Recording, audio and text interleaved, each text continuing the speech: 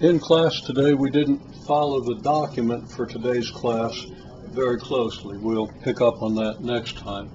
But we did uh, try to make a table for three flips of a coin, number of heads, how many ways you can get that number of heads. Then we did the same for three and uh, for four flips and for five flips. Uh, we didn't list the table for five flips. So um, you should um, create your own table for five flips. You should not look at what I've got here, create tables for three and four flips. Even if you're in class, you should be able to recreate those tables fairly quickly and reason that through. So uh, for three flips, there are, there's one way to get no heads, three ways to get one, three ways to get two, and one way to get three. Now, we shouldn't have to discuss this at this point, but it turned out that we did. How many ways are there? Uh, what's at least one way in which you could get these results? What does all this mean? Well, it means if I got three coins, well, I've got three slots to fill. Let's say I've got a quarter, a dime, and a nickel. So this would be the result on the quarter, this the result on the dime, this the result on the nickel. What's the sample space? We had to divert to listing the sample space so that we could understand this. Okay, the sample space uh, would consist of heads, heads, heads, heads, heads, tails, heads, tails, heads, etc. There are eight um, possible outcomes in the sample space. And I'm actually going to take the time, uh, don't mind the time, I'm going to take up the board space to quickly write down the sample space for three flips.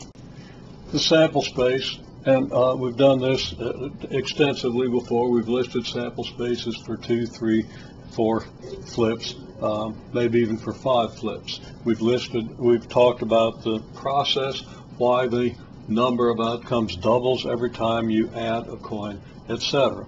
You should review all of that, uh, but let me just get you back into the framework of it.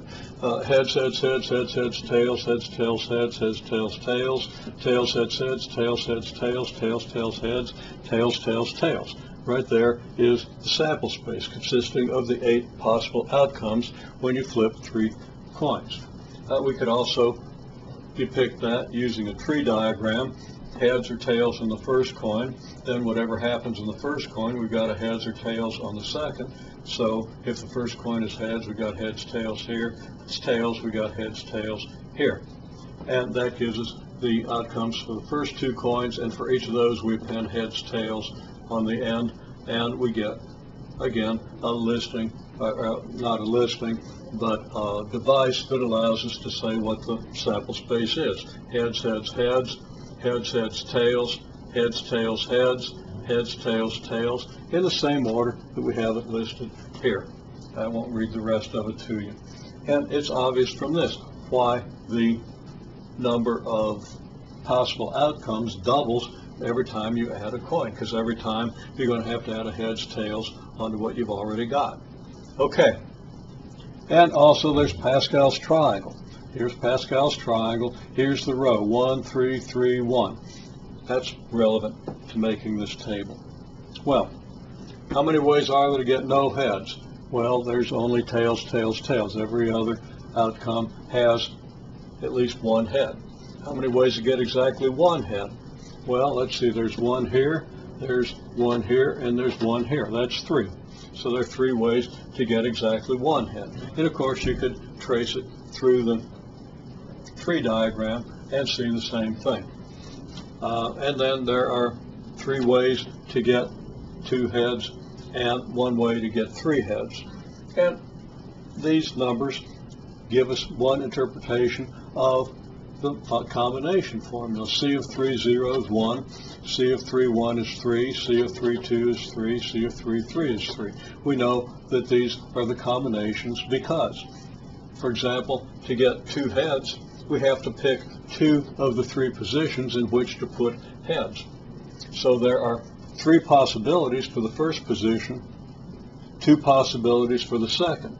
So there are six possibilities for the two positions in which the heads appear in order. and you divide that by the two ways that they could appear in different orders. And I'm not going to give a complete explanation of that now. That's all been explained. It's on video. It was done in class. So we need to try to understand that and why these combination formulas work the way they do. In any case, using that machinery, and you should understand every possible way we could use the machinery uh, to get these results. There is one way to get no heads, three ways to get one, three ways to get two, one way to get three. And then we can make a histogram of that.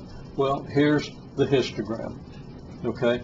Uh, representing the one way to get no heads, the three ways to get one, the three ways to get two, and the one way to get three heads.